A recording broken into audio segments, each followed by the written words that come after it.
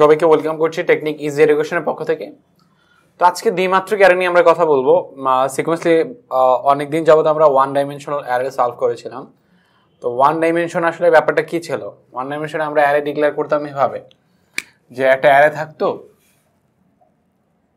একটা অ্যারে আর এর সামনে হচ্ছে ভ্যালুগুলো থাকতো। মানে ব্যাপারগুলো এমন ছিল। যেমন এক, দুই, তিন, ধরো এখানে তুমি one hundred three hundred five hundred nine hundred তাই না? সেভেন হান্ড্রেড যদি তুমি ভ্যালুগুলো রেখে যাও, শুধুমাত্র একটা লোকেশন দিয়ে তুমি ভ্যালুগুলোকে ইউনিকভাবে ট্রেস আউট করতে পারো। এখন যদি তুমি বলো A zero number location then কিন্তু আসলে শুধু ওয়ান হান্ড্রেড কি বোঝাচ্ছে? একটা মাত্র ভ্যালুকে তুমি ইউনিকভাবে ডিফাইন করতে পারছ লোকেশন দিয়ে জিরো নাম্বার লোকেশন দিয়ে। One number location two number location three number phone number A four যখন আমি বলছি, তখন কিন্তু তুমি স্পেসিফিকভাবে একটা ভ্যালুকেই বুঝতেছো, যেটা সেভেন হান্ড্রেডকে বোঝাচ্ছে। যখন আমি বলতেছি এ জিরো তখন তুমি বুঝতেছো এটা ওয়ান হান্ড্রেডকে বোঝাচ্ছে। যখন আমি বলতেছি এ থ্রি তখন তুমি বলতেছো এটা নাইন হান্ড্রেডকে বোঝাচ্ছে। তার মানে শুধুমাত্র থ্রি দিয়ে, একটা মাত্র ডাইমেনশন দিয়ে, একটা মাত্র ভ্যালু দিয়ে আমি ভ্যালুগুলোকে ইউনিকভাবে রিটিভ করতে পারছি বা ডিটেক্ট করতে পারছি। কিন্তু যদি এই ভ্যালুগুলোকে আমি ম্যাট্রিক্স আকারে রাখি ধরো এই ভ্যালুগুলোকে আমি এখন এইভাবে রেখেছি। ধরো হচ্ছে তিন, চার, ছয়, সাত না? ধরো হচ্ছে এখানে দশ, পনেরো। ধরো এই যে ম্যাট্রিক্স আকারে আমি ভ্যালুগুলোকে রাখলাম। এখন ধরো এটা হচ্ছে জিরো নাম্বার রো এটা ওয়ান নাম্বার রো এটা জিরো নাম্বার কলাম এটা ওয়ান নাম্বার কলাম এটা টু নাম্বার কলাম এখন একটা ব্যাপার খেয়াল করে দেখো। যদি তুমি ধরো এটার একটা নাম দাও, ধরো ম্যাট্রিক্স এই যে যেমন এটার একটা নাম দিয়েছ কত? এটার নাম দিয়েছ হচ্ছে এ এই পুরোটা নাম দাও, ধরো matrix variable M A T R I X matrix matrix আমি যদি বলি ম্যাট্রিক্স জিরো ম্যাট্রিক্স জিরো এই দিয়ে কি আসলে কিছু বোঝা যায়? ম্যাট্রিক্স জিরো তার মানে এই জিরো নাম্বার লোকেশনে কে আছে? জিরো নাম্বার লোকেশনে থ্রি আছে ফোর আছে টেন আছে তার মানে শুধুমাত্র একটা ভ্যালু দিয়ে আমি এগুলোকে রিটিভ করতে পারছি না ইউনিকভাবে আলাদা করতে পারছি না। কিন্তু আমাকে তো আলাদা করতে হবে এখান থেকে, প্রত্যেকটা লোকেশন আলাদা করতে হবে।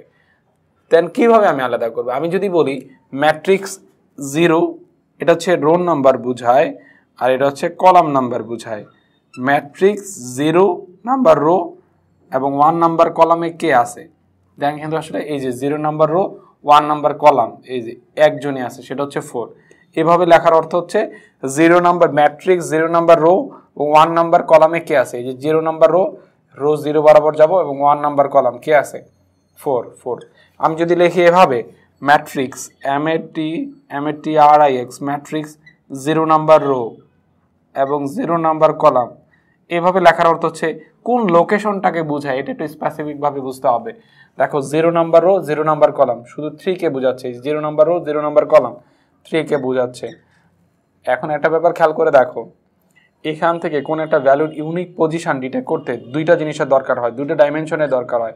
একটা হচ্ছে ধরো, এটা হচ্ছে রো এটা হচ্ছে কলামের ভ্যালু তার মানে হচ্ছে কলামের ভ্যালু দেন এই জন্য এটাকে আমরা বলি টু ডাইমেনশন তাই না? এখন যদি আমি বলি, আমি যদি লিখি matrix M A T R I X matrix sorry matrix হচ্ছে যদি আমি এভাবে লিখি যে দুই নাম্বার রো দুই নাম্বার রো ধর হচ্ছে সরি দুই নাম্বার রো না, দুই নাম্বার রো নাই আমাদের, যে one number row one number row এবং হচ্ছে দুই নাম্বার কলাম এইটা কোন ভ্যালুটাকে বুঝি? এটা কিন্তু আসলে কোনো ভ্যালু নেই এটা হচ্ছে location matrix one number row দুই number column one number row ওই ওয়ান নাম্বার রোতে আসলাম।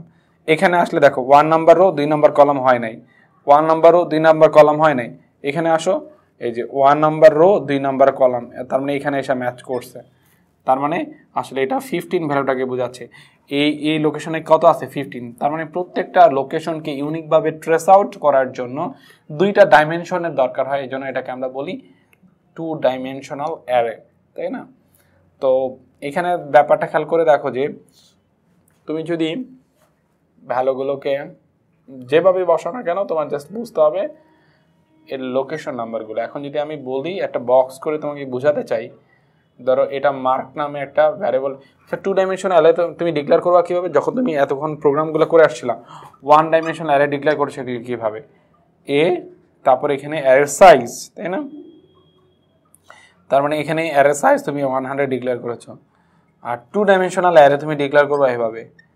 এ এই যে, এখানে লিখবা রো এর ভ্যালু আর এখানে লিখবা কলামের ভ্যালু তাই না?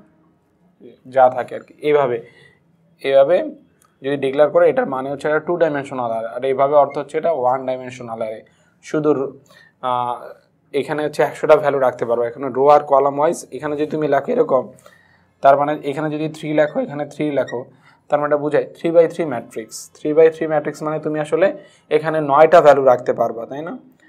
সেই অনুসারে এইভাবে যদি তুমি ডিক্লেয়ার করে মিনিং হচ্ছে তিনটা রো আছে, তিনটা কলাম আছে। এখানে দেখো তিনটা রো এক, এই যে তিনটা রো হয়েছে, তিনটা কলাম দেখো হয়েছে কিনা। আর এটার নাম যদি আমি এ দেই বা যাই দিই না কেন কারণ এটা কত নাম্বার লোকেশন দেখো এটা জিরো এটা ওয়ান এটা টু এটা জিরো এটা ওয়ান এটা হচ্ছে টু তার মানে এটা কত নম্বর লোকেশন বুঝায়? এটা এ জিরো জিরো লোকেশন বুঝায়। তাই না? এটা লোকেশনটা আমি এখানে লিখতেছি। তুমি চাইলে এই লোকেশনে যে কোনো ভ্যালু রাখতে পারো। এই লোকেশন নাম্বারটা কত? এটা হচ্ছে A zero number location one number column মানে zero one number location zero one আর এটা হচ্ছে zero two number A zero two number location তাই না? এগুলো হচ্ছে লোকেশন নাম্বার এই লোকেশনে তুমি ভ্যালুগুলো রাখতে পারো। তার মানে এই লোকেশনটাকে ট্রেস আউট করার জন্য ইউনিকভাবে দুইটা জিনিসের ডাইমেন মাত্রা দরকার হয়েছে। দেন এই জন্য আমরা এটাকে বলি টু ডাইমেনশন এটা দেখো, এটা কত নাম্বার লোকেশন এটা হচ্ছে one number location zero number column এই যে one number row zero number column তাই না? একটা মাত্র লোকেশন এটা এটা কত নাম্বার লোকেশন এটা হচ্ছে ওয়ান নাম্বার কলাম এটা হচ্ছে ওয়ান নাম্বার রো তাই না? One number row one number column আচ্ছা একটা কথা বলি। রো কলাম নিয়ে যদি উল্টা পাল্টা লেগে যায় দেন তুমি এভাবে চিন্তা করতে পারো। আর সি আর সি কলা আর মানে হচ্ছে রো, সি মানে হচ্ছে কলাম। আর সি মনে রাখলেই সিকোয়েন্সটা মনে থাকবে। প্রথমটা হচ্ছে রো, পরেরটা হচ্ছে কলাম। এটা হচ্ছে রো, এটা হচ্ছে কলামের ভ্যালু রো, কলাম। এটা দেখো, তার মানে রো, কলাম। এটা কত হবে? এটা হচ্ছে two zero. Two zero, A two zero. A zero, A two zero মানে হচ্ছে, আমি এখানে ডিরেক্ট লিখে ফেলছি। ধর হচ্ছে এখানে লোকেশনটাকে বোঝাচ্ছে যে এটা দুই নাম্বার রো আর জিরো নাম্বার কলামের লোকেশন আসলে। এটা কত নাম্বার লোকেশন এটা হচ্ছে টু কমা ওয়ান লোকেশন এটা হচ্ছে কত? টু কমা টু লোকেশন তার মানে এভাবে আমরা লোকেশনগুলোকে ট্রেস আউট করতে পারি। দেন এই লোকেশনগুলোকে আমি আমার ভ্যালু বসাতে পারি, সেই অনুসারে ভ্যালুগুলোকে আউটপুটে দেখাতে পারি। তো আমাদের সি প্রোগ্রামে আসলে আমরা ওয়ান ডাইমেনশনাল অ্যারে নিয়ে কাজ করব টু ডাইমেনশনাল অ্যারে নিয়ে এক্সাম্পল শেয়ার করব। তো বহুমাত্রিক যে অ্যারেটা ছিল থ্রি ডাইমেনশনাল ফোর ডাইমেনশনাল সেগুলো সি প্রোগ্রামের কম্পাইলার সম্ভব, সেগুলো আমরা হাই লেভেলে শিখব। তো বেসিক আলোচনার মধ্যে ওয়ান ডাইমেনশন আর টু ডাইমেনশন ব্যাপারটাই থাকবে। কিন্তু আমাদের হ্যাঁ থ্রি ডাইমেনশনও সম্ভব। যখন কোনো বস্তুর অবস্থান শূন্যে নির্ণয় করা দরকার হয়, ধর হচ্ছে কোনো তলের উপর না। ধরো এরকম থ্রি ডাইমেনশন কখন দরকার? তুমি একটু ব্যাপারটা যদি বুঝতে চাও থ্রি ডাইমেনশন দরকার হচ্ছে, ধর হচ্ছে, আমি বললাম, তুমি ধরো এখানে দাঁড়ায় আছো। আর এখানে ধরো আবুল দাঁড়ায় আছে হ্যাঁ? তো আমি তোমাকে বললাম, তুমি যদি আবুলকে খুঁজে পেতে যাও, তাহলে তুমি ঠিক তোমার সামনে বরাবর ধরো পাঁচ একক যাবা, পাঁচ একক যাওয়ার পর চার একক যাবা।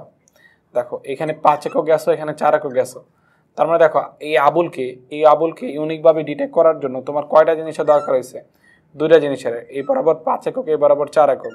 দেন আবুলকে পাইছো হ্যাঁ। তার এটা হচ্ছে টু ডাইমেনশন আমরা বলতে পারি দুইটা মাত্রা দিয়ে বস্তুর অবস্থানটাকে নির্ণয় করছি। আর যদি আমি এরকম করি, এই ধরো আবুলকে, কোনো একজন কেউ ফান করে, আবুলকে ধরো হচ্ছে উপরে উঠে রাখছে, একদম উপরে। দেন তুমি তলের উপরে, আমার কথা অনুসারে এখনও গেছো, পাঁচ একক, চার একক। গিয়ে দেখলে আবুল কেন? আবুল নাই। দেন তুমি আমাকে বললা যে, ভাই, আবুল তো এখানে নাই। আমি তোমাকে বললাম, আমি জানি আবুলকে কে, উপরে উঠে রাখছে। ধরো কেউ একজন ফান করে, আবুলকে উপরে উঠে রাখছে।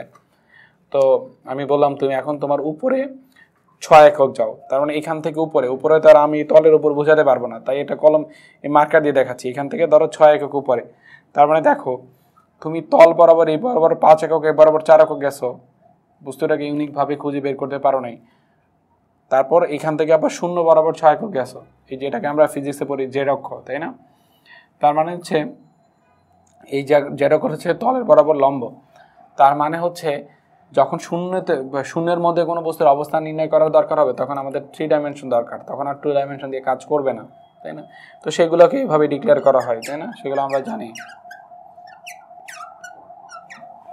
মাল্টি ডাইমেনশন অ্যারের ক্ষেত্রে আমরা সেগুলো শিখব।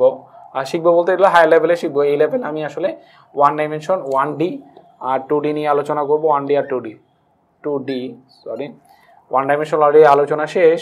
আমরা ওয়াল ডাইমেনশনে আরও কিছু প্রবলেম দেখব অ্যান্ড টু ডাইমেনশন আমরা একটু সিকোয়েন্সলি কন্টিনিউ করতে থাকি দেন ওয়ান ডাইমেনশন আর টু ডাইমেনশন কিছু মিশ্রিত প্রবলেমও দেখব আমরা সিকোয়েন্সলি তো এই পর্বে এখানেই আল্লাহ হাফেজ।